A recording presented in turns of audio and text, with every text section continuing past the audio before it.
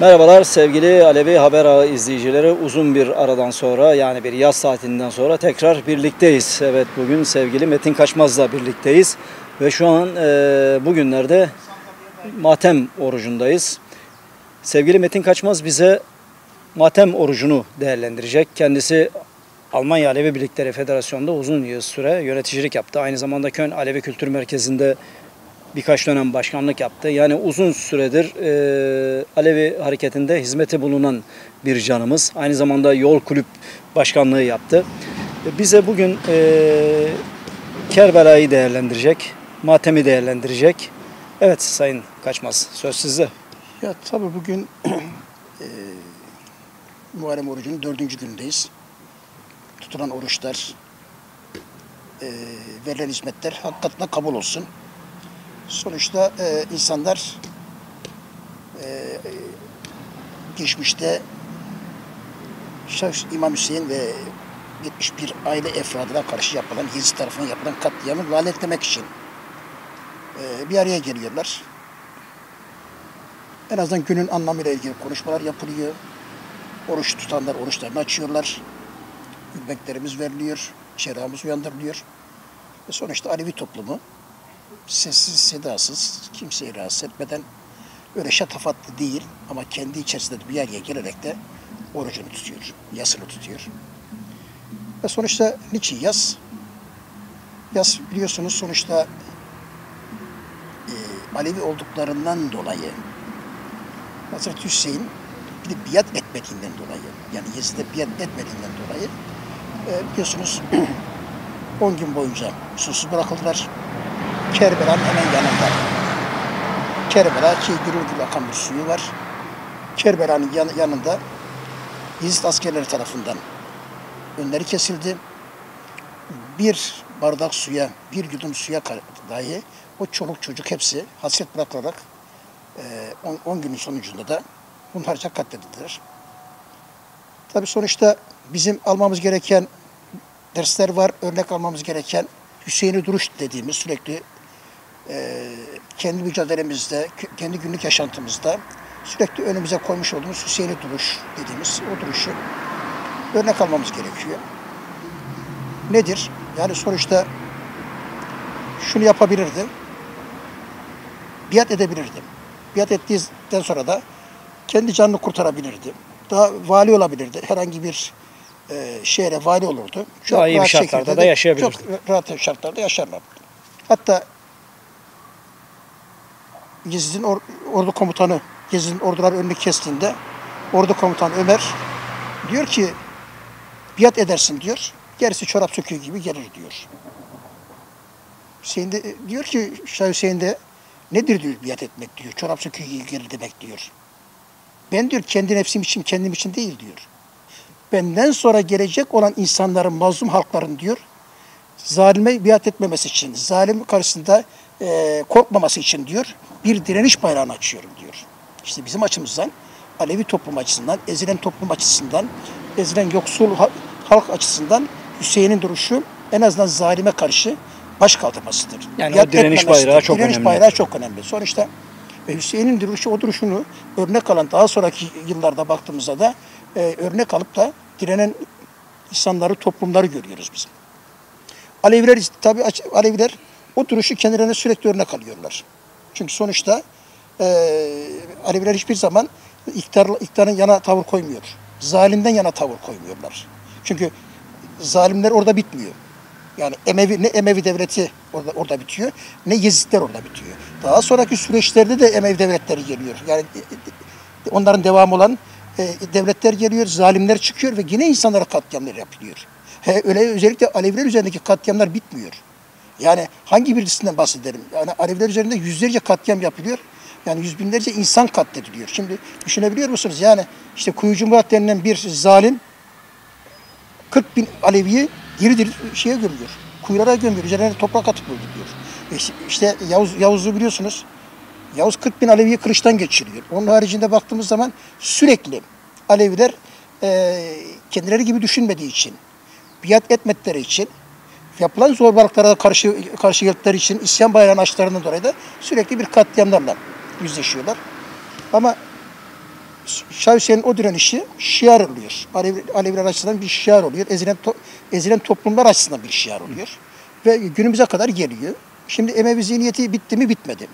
Bakıyoruz Emevi zihniyeti bitmediği gibi e, Aleviler için kutsal biliyorsunuz Aleviler açısından e, her canlı kutsaldır. Doğada yaşayan her canlı kutsaldır. Yani insan da kutsaldır, börtü böcekleri de kutsaldır, yeşillikleri de kutsaldır, bir ağaç da kutsaldır. Hatta öyle kutsaldır ki biliyorsunuz tahtacı Alevileri ormana ağaç kesmeye gittikleri zaman kesmeden önce rica minnet niçin kesildiğini anlatan e, yaşlı olduğundan dolayı kesmek zorunda olduğundan özür dolayı dileyerek. E, özür dileyerek kesiyor.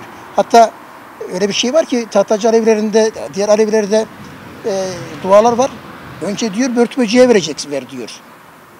Ya Rab diyor. Önce börtü böceğe ver diyor. Kuş, kuşa ver diyor. Ağaca ver diyor. Ormana ver diyor. Tüm canlılara ver. Daha sonra diyor bana ver diyor. Yani düşünebiliyor musunuz? Kendisini doğada yaşayan canlılardan daha sonra görüyor. O kadar kutsaliyet taşıdığımız doğamız e, biliyorsunuz günümüzdeki Yezid diyebileceğimiz aynı anlayışa sahip insanlar tarafından işte HES diye e, doğa katlediliyor. İşte en sonunda da biliyorsunuz artık öyle bir şey ki yani insanların doğaya vermiş olduğu zarardan dolayı da bugün e, doğal afetlerin önüne, geçilemiyor. Sayın Kaçmaz, e, şimdi bu 12 günlük e, matem orucunda Aleviler e, yaşayarak, biraz da hissederek o acıyı yani e, görüyorlar. 12 gün hissediyorlar en azından. Kerbela'nın acısını. Fakat e, siz de biraz değindiniz. Onu biraz daha da açalım isterseniz. Kerbelalar hala devam ediyor. Günümüzde de var. Yani sadece Kerbelalar Alevilere de değil, mazlum bütün halklara yapılıyor. Ötekeleştirilen bütün halklara yapılıyor. E, isterseniz biraz da o konuya değinelim, onu açalım. Yani günümüzün Kerbela'sını anlatalım. Ya muhakkak şimdi dediğimiz gibi yani şimdi e, katliamlar sadece Alevilere, Ale, Alevilere göre yapılmamış. Sadece Alevilere yapılmamış. Katliamlar diğer azınlıklara da yapılmış. Yani bakıyorsunuz e, işte en son günümüze geldiğimizde işte Ezidilerin biliyorsun evet. E, Suriye'de yaşa, yaşamış oldukları o kadınların kaçırıp tecavüz edilmesi, esir pazarlarında satılması e, bir Kerbela, bir değişik e, Kerbela. Diğer taraftan bakıyorsunuz azınlıklar Dünyanın neresine bakarsanız bakın işte renginden dolayı, teninden dolayı katledilen insanlar var. Şimdi ülkemize bakıyorsun, ülkemizde diğer azınlıklar dediğimiz işte Ermeni, Ermeni Süryani, Asuri, Rumlar. yani sürekli Türkiye topraklarında kardeş kardeş yaşayan toplumlara katliamlar yaşanılmış. Şimdi katliamlar yapıldığı için e, işte Suriye'ye geliyoruz. E, Suriye halklarına, halklarına karşı yapılan katliamları görüyoruz biliyor musunuz? Kaç yıldır süren bir savaş, savaş var orada. Emperyalist, kapitalist güçler e, tüm silahlarla en büyük en modern silahlarla oraya gidiyorlar. Yani e, gerici güçlerle gerici birlikte. güçler orada. Düşünebiliyor musunuz? Yani bugün işte sahip çıkan bir e, e, Türkiye'deki AKP iktidarı var. Evet. Şimdi e, kalkıyor en azından işi de silahını gönderiyor, şey yapıyor. Niye? Çünkü diyor sonuçta bir Yezid anlayışı var. Şunu diyor biz diyor Şam sabah gireceğiz öğlenden diyor Şam camisinde namaz kılacağız diyor. Yani bu kadar şu an Afganistan var. Evet. Bir de Afganistan şimdi Taliban da geleceğiz. Tabii tabii şimdi Afganistan'da var şimdi yani sonuçta. Taliban. Şimdi baktığımız zaman e, Suriye'de e, Suriye halkının direnişi vardı. Yani sonuçta da Suriye halkının bir direnişi de vardı. Çünkü sonuçta dışarıdan gelip ülkeyi işgal et, e, e, eden bir büyük güç olur. Yoksa canı kanı pahasına ülkeyi savunan insan mıdır? Yani o insan evet. başarılı olur. Çünkü sonuçta biliyor yani bu topraklar benim diyor. Benim atamın, babamın, dedemin yaşadığı topraklar, bu doğduğum topraklar diyor ve bu benim kutsaliyetim diyor. O yüzden ya esir yaşamaktansa diyor, savaşırım diyor, ölürüm diyor. Yani o kadar kutsallık taşıyor. Kendi evet. yaşadığı topraklar. E şimdi bakıyoruz, e diğer taraftan bu anlayışı savunan, insanlara eziyet eden e, Yezid zihniyetine sahip insanlar, e, bakıyorsunuz dediğimiz özellikle Arap ülkelerinde, özellikle de bu geri kalmış ülkelerde savaşı körüklüyorlar. E şimdi bununla beraber işte bakıyorsunuz bugün Suriye'de tokat yiyen o işitler. Bugün Türkiye'de. Bugün bak, baktığımız zaman bir de şimdi Suriye, e, 3,5 milyona yakın resmi olarak. Ama resmi olmayan 5 milyondan fazla e, göçmen dediğimiz şeyler var, insanlar var. Bugün bir de son dönemde sizin de dediğiniz gibi şimdi Afgan, Afganistanlar sınırı yol geçen anda çevirdiler Afganistanlar geliyor. Ve bu gelenlerin hiç içerisinde bir tane kadın yok.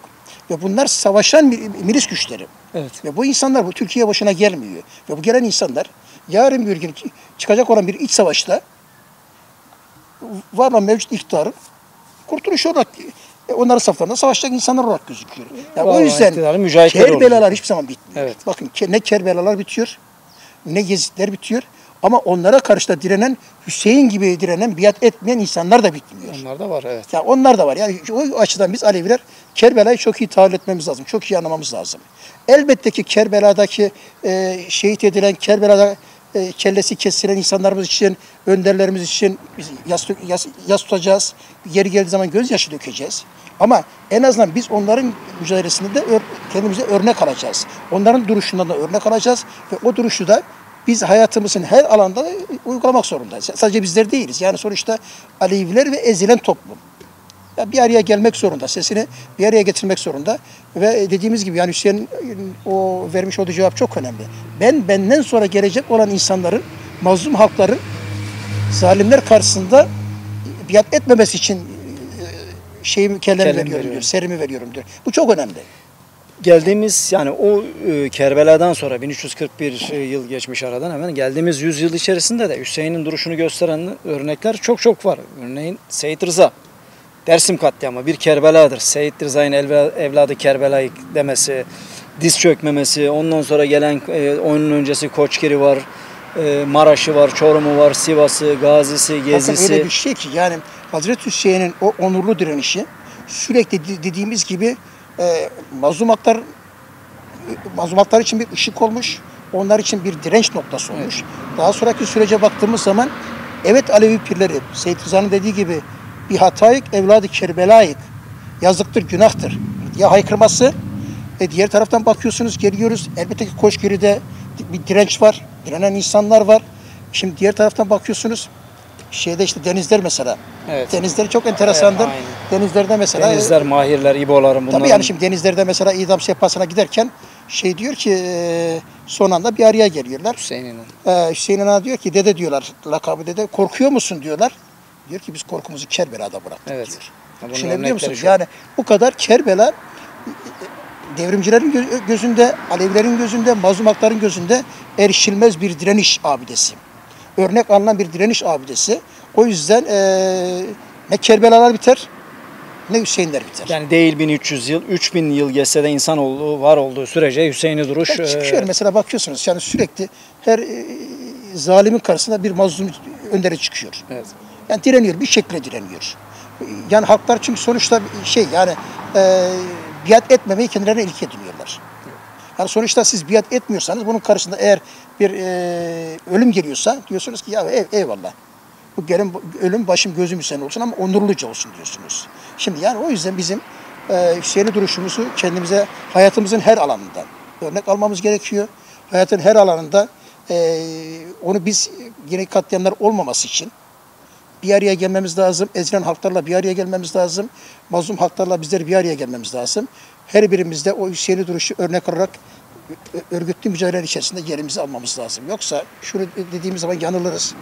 Bana dokunmayan yılan bin yıl yaşasın dediğimizde ki yılan dokunuyor. ki örgütlü mücadelemizde de Hüseyin'i duruş çok çok önemli. E, E, muhakkak, muhakkak. Tabii burada sorgulamamız gereken e, yönler de var. Yani ne kadar örnek alıyoruz, ne kadar uyguluyoruz, neresindeyiz? Yani bunlar da tabii tartışılabilir ama sonuçta da bizim tartışmadan daha ziyade en azından e, daha nasıl örnek alabiliriz? Daha bunu hayatımızın içerisine nasıl sokabiliriz? Mücadelemizin içerisine nasıl sokabiliriz? Yaşamın her Bunu anlatmak lazım. Bir de yeni yeni yetişen nesle bunu çok iyi anlatmak Özellikle. lazım. Çok çok iyi anlatmak Özellikle, lazım. Yani elbette ki gözyaşı dökülür ama orayı sadece biz ağlama e, kapısı olarak değil. Sadece ağlamak olarak değil. Biz orayı kendimize örnek alabileceğimiz, bir ders çıkarma, örnek ders çıkartabileceğimiz e, o mesajı da çok iyi algılamamız lazım. Ve gençliğe de o mesajı çok çok iyi öğretmemiz lazım. Evet. Özellikle gençlik dediniz. Az önce de e, e, Girafenbroç Cemevi'nin e, Muharrem e, orucundandınız. E, orada da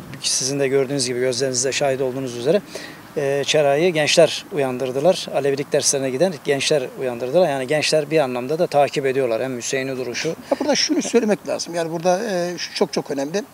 Bana göre 31 senelik Alevi e, Almanya ve Avrupa Alevi örgütlenmesinin en önemli kazanımı bana göre Alevi dersleridir. Evet. Yani en büyük kazanım odur bana göre. Çünkü sonuçta siz geleceğiniz olan gençleri hem iyi bir Alevi dersini akademik olarak alması, pedagojik olarak bizzat Alevi öğretmenler tarafından öğretip öğrenmesini sağlıyorsunuz ve bunların da gelecek olan gelecekte örgüte kadro olarak e, en azından araştırmacı, yazar, önder, lider bu şekilde yetişmesini sağlıyorsunuz. Evet. E, bu konuda da tabii aileler e, bu hakkı aldı ama aileleri bu işi daha çok sahiplenmesi, çoluğumuzun çocuğumuzun en azından e, bu derslere katılması çok çok önemli.